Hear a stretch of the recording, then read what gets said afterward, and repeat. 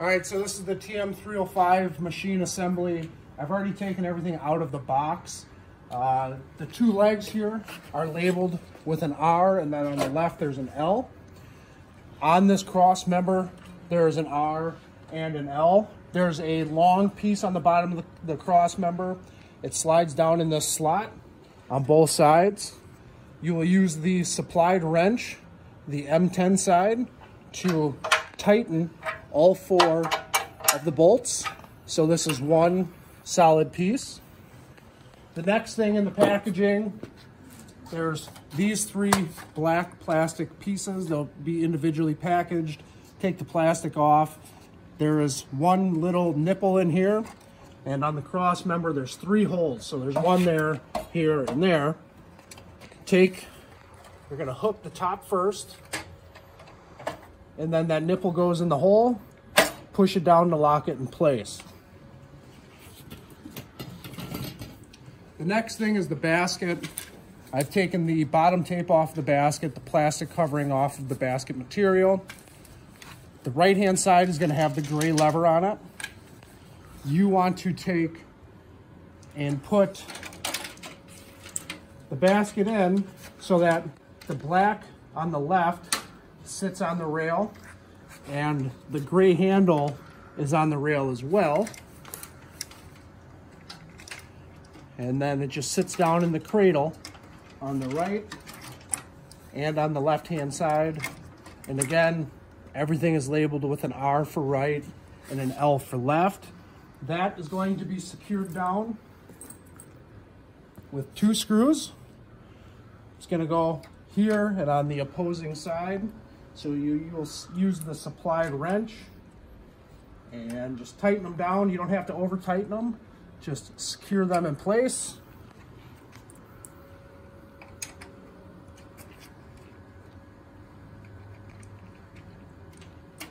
Next order of business here, you're gonna take the basket material and unwrap it.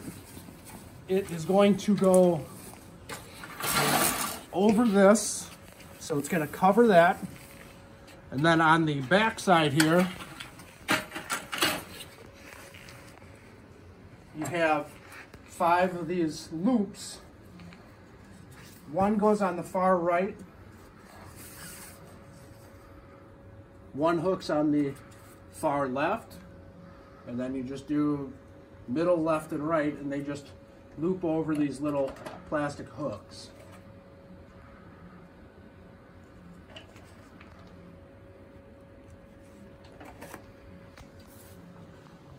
And the last couple of pieces for the stand.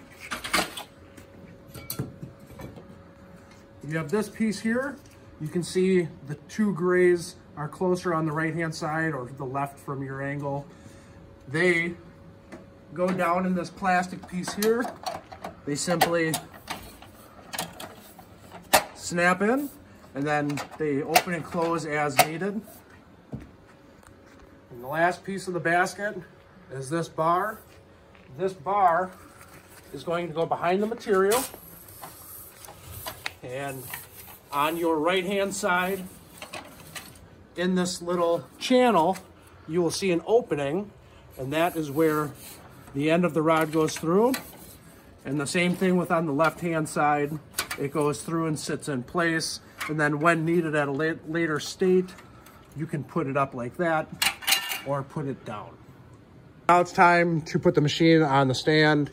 The machine has two nipples, one on the left, one on the right, and then there's four holes. That's going to be for the four screws that go from underneath into the machine. So go ahead, guys, pick it up, and they're going to set it on the stand.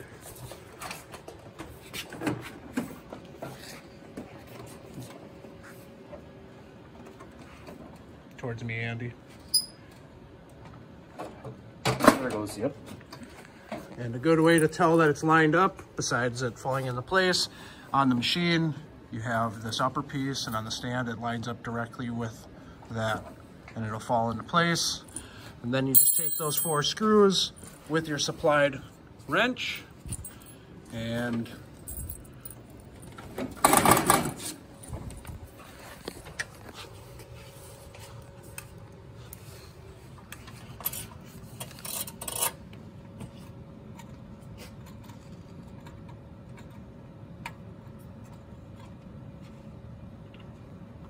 There you go. You do that four times, one on each corner, and the machine is ready for its next step. If you purchase the TM305 MFP, the next step, once you get the machine assembled, is taking off the covers on the left and the right-hand side. It is one screw on each side that is taken off with the supplied wrench.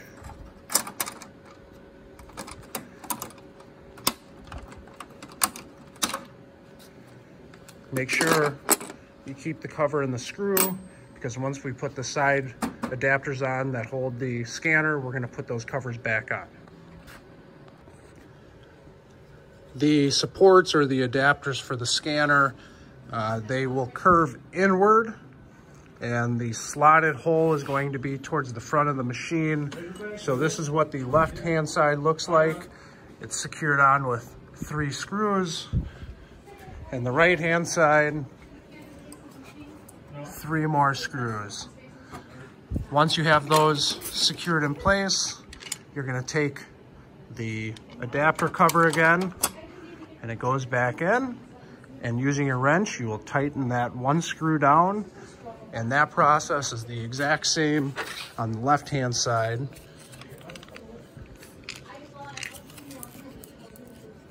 You we'll put that on as well. And I, the next order of business with the MFP installation or assembly is to put together the all-in-one arm. So you will start by taking this piece, make sure this guy is vertical. And what you're going to do here, there's a hook on top and you're gonna reach around to the back side of the machine and it sits in place like that. Then you'll push that in and start to tighten it while you're pushing it in. And what that's going to do is turn in there and lock itself in the channel.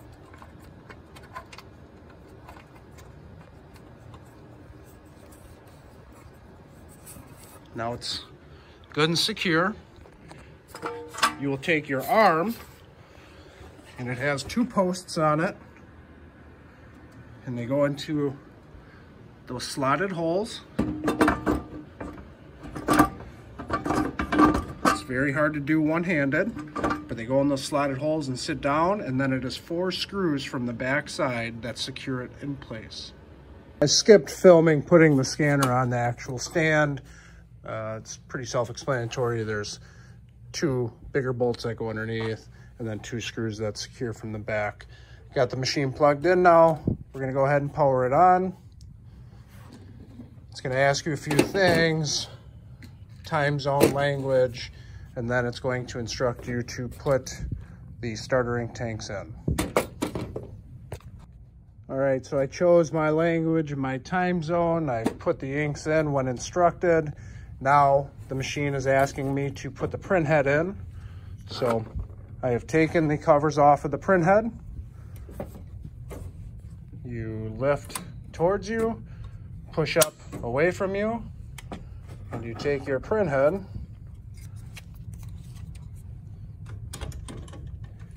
and you set it down in there, close the back side first, close the top side, and then close the top cover. The carriage will move back over and it's going to start filling with ink. Step in this process of initializing the machine, it's gonna ask you which type of paper do you want to print the print head alignment pattern on. So I'm going to do roll paper. I already have my paper loaded, so I'm going to feed it into the machine and follow the prompts. This is just regular plain paper I'm using and then it will finish filling with ink and it will start to print its print head pattern.